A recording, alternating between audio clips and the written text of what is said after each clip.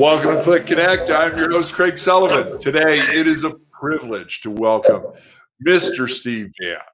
You know him as the president and CEO of Prism Hotels. Steve is a mentor.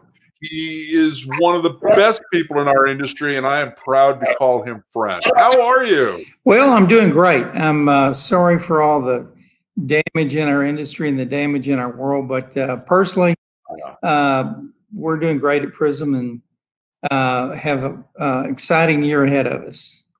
There you go. So let's talk a little bit about last year, my friend. Um, what were you doing in particular to help out your ownership groups around the country and your teams? Well, the the mo- the best thing we did, we got a head start on it. I mean, beginning in February, we were like, uh oh, and starting in March, we immediately staffed up uh, our corporate office. We, unlike other companies, we didn't lay off a single person last year, so we could continue to help our owners drive revenue. We've actually hired six great professionals. Uh, so we started off early with a radical approach to cutting expenses, and even more radical approach to hiring more people in sales and marketing. Uh, as a result, our market penetration, RevPAR, went up 25% in our hotels because the competition was cutting people. So we really focused on serving our owners. Uh, you know, we weren't making money, but yeah. certainly inured ourselves uh, deeply to our, our ownership group. So we just we stayed ahead of it. We we instituted an entirely different sales marketing program where we call sales office of the future, where we actually had salespeople getting out of the office, going to the front desk, checking in guests, and seeing where they came from, right. so we get more business. So good, I like that idea. A uh, tough year. Yeah, yeah. T- eh, you know, I think everybody's having to do double duty right now, if not even more. Um, you know, you've been on the forefront with the CMBS lenders for all of my 25 plus year career in, in hospitality.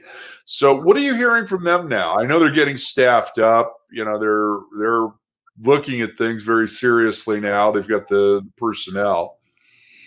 Yeah, it's you know, if you'd asked me in last spring how many uh, foreclosures, special servicing would be, would have said hundreds and hundreds and hundreds, but that's not the case. Uh, they have staffed up they're trying to delay the foreclosures as long as they can, uh, but it's still inevitable that there'll be uh, that there's a disaster looming. I mean, there are I think 1,600 loans in special servicing, you know, billions of dollars, and uh, although there was a, a dip in November, 15% of them went out of special servicing because they gave extensions. There's still a huge stack up in loans that are in special servicing and those that are, are, are in default but not yet in special servicing. So I think the new PPP will give some more oxygen to the, the dying hotels, but yeah. it's inevitable that. And another thing that's going to happen is a lot of these, not just CMBS lenders, but the regular balance sheet lenders, the banks in particular, they've got 12 month, month debt coverage ratios. Right. Coming up in March with a vengeance. So those trigger they're just a whole a horror show of things that can and probably will happen to borrowers.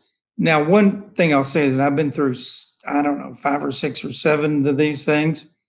If you can hang on to your hotel, you'll be fine. But the right. key is just lasting through this, and that's what we're helping our owners with is cutting expenses beyond what we ever thought we could. The brands have been cooperative. Yeah. It's cut back on services and the lenders being cooperative. So I think it won't be as much of a bloodbath as it would look like earlier, but it's still going to be brutal. I agree with you, and, and that's that's really great to hear. And you know, if anybody's looking at where I'm at, uh, I'm using Steve's uh, Hyatt Regency at LAX as my background. Uh, you know, and you know, Steve, funny. I, I had uh, Sarah Dandashi on uh, the show last season from Ask a Concierge, and she did a review of your hotel. It's on uh, YouTube at askaconcierge.com uh, or .tv.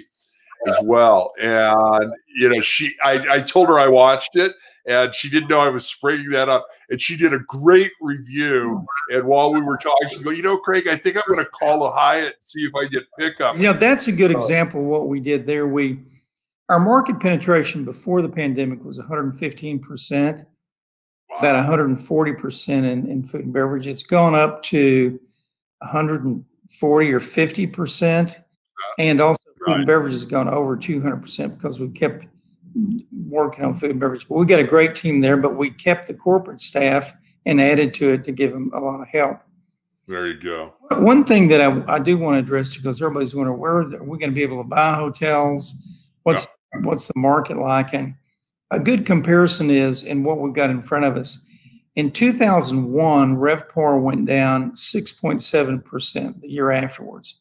In 2009, it went down 16.7% everyone is projecting this year RevPAR is going to go down 34, 35%, which is twice what it was before. And the recovery of value, the past two recessions, it's taken eight to nine years, years. get back to as many transactions, as much value as there was. So, you know, eight or nine years from last year is, it sounds funny to say, but 2029, 2030. So this is unprecedented. Everybody loves the sports analogy. We're in the first inning of this. Wow.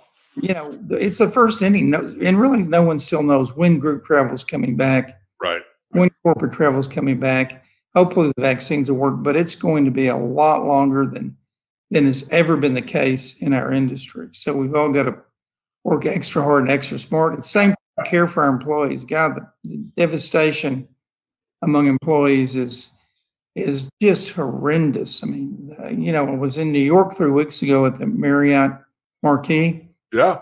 Six, there were six guests at a 1,500 room hotel. I was going to say, it's 1,500 rooms and only yeah. six guests. Oh, my God. Yeah. So they have, there are tens of thousands of unemployed hotel workers in yeah. New York. Not, So, anyway, we just need to remember them and do all we can for them. So.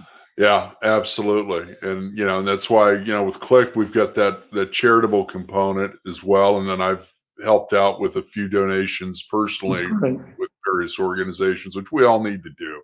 Yes. Uh, my friend, we are almost out of time. So before I let you give a shameless plug and how everybody can get a hold of you, I want to say a couple of things.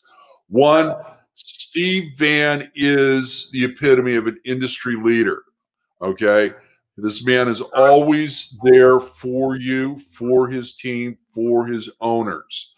He is also a wealth of information. That's why I was so excited to get him on this show. Steve has been on the podcast at least twice, and he's always bringing something to the table to share. So, my friend, thank you very much. And how can people get a hold of you? Oh, you just call me on uh, my cell. It's Steve Van at 214- 850-0391 or email me steve.van at prismhotels.com. Be glad to talk to you. And we need to help each other during this time, all of us. Yes, we do, my friend. And I want to thank you, our audience, for joining us today. And please remember to subscribe to our YouTube channel, ring the bell for notifications. Be kind, share your knowledge. Now go be amazing.